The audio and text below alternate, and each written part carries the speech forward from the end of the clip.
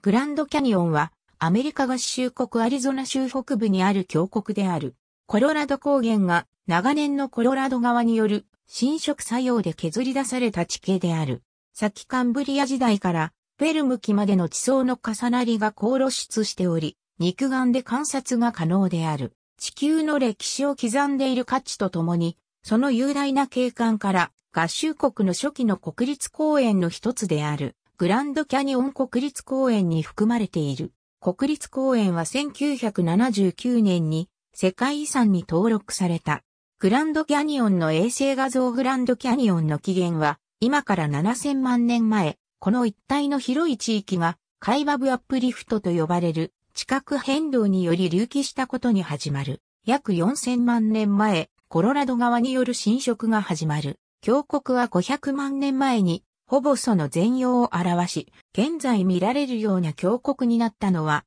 約200万年前である。そして今もなお、侵食は続いており、最古でおよそ20億年前の原始生命誕生時の地層を侵食している。グランドキャニオンの断崖は平均の深さ約1200メートル、長さ 446km、幅 6km29km に及ぶ。最深地点は1800メートル。降雨量はサウスリムで年間380ミリメートル、最深部では年間200ミリメートルとなっている。主要記事 EN Geology of the Grand Canyon area グランド・キャニオンを構成する地層の種類グランド・キャニオンがいつ始まったのか、東と西の渓谷は同時に形成されたのか、それとも独立して生まれたのか、などの点に関しては、長い議論が続いている。最近の研究では、峡谷の起源を500万年から600万年前と概算していたが、新たな手法の適用による詳細な分析の結果、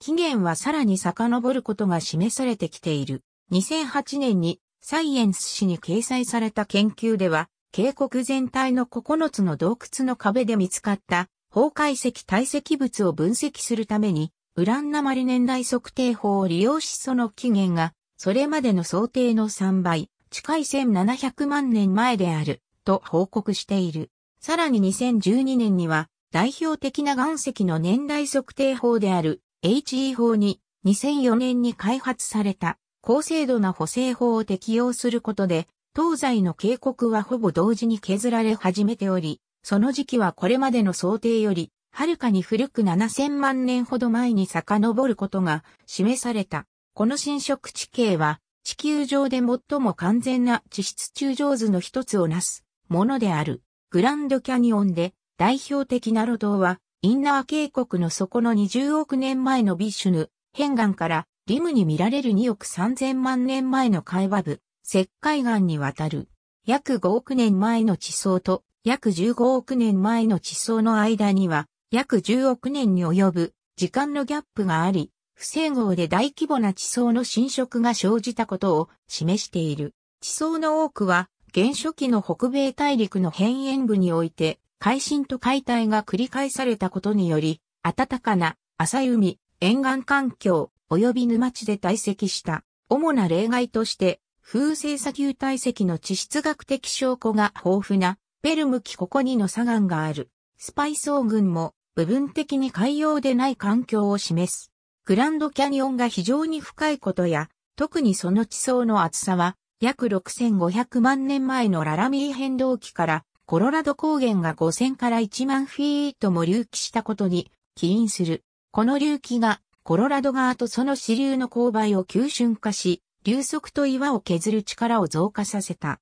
また、氷河時代の気象条件もコロラド川流域の水量を増加させた。コロラド川の基準面は530万年前にカリフォルニア湾が開いたことにより低下し、流路も変わった。これにより侵食の速さが増し、120万年前までにはグランドキャニオンのほぼ全体が現在の深さにまで達した。絶壁のテラスは差別侵食によって形成された。300万年前から10万年前に生じた火山活動による火山灰や溶岩が川の流れを塞いだ。これらの火山岩は、峡谷で最も新しい岩石である。主要記事、ヒストリー・オブ・ザ・グランド・キャニオン・エリア1万500年前には、人類がいたと思われ、ネイティブアメリカンは少なくとも4000年前にこの地域に住んでいた。ヨーロッパ人では1540年9月、スペイン領だったこの地域をコンキスタドール、フランシスコ・バスケス・デコロなどの命を受けて金を探していた軍人ガルシア・ロペス・デ・カルデナスとその一体が探検した。この隊は3分の1ほどサウスリムを降り、水がなくなったために上に戻った。先住のホッピ族が金資源が出ないことを教えたために彼らは去り、それ以降ヨーロッパ人からは忘れ去られていた。1869年、アメリカ軍人、ジョン・ウェズリー・パウエルが当時スペイン領だった、この地域の調査のために訪れた。1956年6月30日、グランドキャニオン上空で、ユナイテッド航空機とトランスワールド航空機による空中衝突事故が発生。事故機の墜落現場が後に、アメリカ合衆国国定歴史建造物に認定された。グランドキャニオン鉄道の蒸気機関車4960ノースリムとサウスリムがあり、サウスリムはネバダ州、ラスベガスもしくはアリゾナ州フェニックスから車で約5時間の距離にあるラスベガスからはドローンで遊覧飛行しながら行くこともできて飛行機やバスを使ったツアーもある。ラスベガスからはシーニック航空やビジョン航空が定期便を運航している。ロサンゼルスからは飛行機での日帰り観光ツアーが運航。アリゾナ州ウィリアムズからグランドキャニオン鉄道が毎日運行している。運賃、60から155ドル利用した著名人、セオドア・ルーズベルト、フランクリン・ルーズベルト、アイゼンハワー、ビル・ゲイツなど、スカイウォーク1919年にアメリカの国立公園として指定され、1979年には世界遺産にも登録されたグランドキャニオンは年間を通してアメリカ人は元より全世界から多くの観光客が訪れる。その数およそ年間400万人。グランドキャニオンにはサウスリムとノースリムがあるが、観光の中心となるのはサウスリムで大部分の観光客が訪れる。観光地周辺は標高2000メートル級の高地で年間を通じて開園されている。ノースリムは標高が2500メートルほどで積雪のため冬季は閉鎖される。サウスリムには6カ所の宿泊施設、ギフトショップ、銀行、郵便局、スーパーマーケット、ビジターセンター、鉄道の駅がある。また、園内を巡回する無料のシャトルバスも3路線走っており、滞在者にとっては便利な足となっている。対して、ノースリムは1カ所の宿泊施設しかなく、無料のシャトルバスなどもない。ノースリムが開園している時期には、サウスリムとノースリムを結ぶバスが1日1往復している。グランドキャニオンへの観光客は、車を使い陸路で来るか、外国や遠方からの観光客は主にラスベガスから